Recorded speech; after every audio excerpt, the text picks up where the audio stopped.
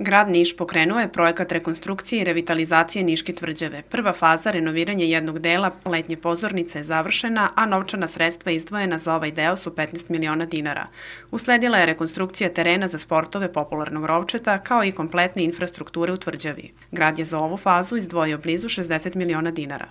U sklopu ovog projekta ide se na popravku i, i revitalizaciju rovčeta, ide se na nastavak ulaganja i, na održavanje letnje pozornice i iće se na partorno uređenje jednog prostora iznad letnje pozornice.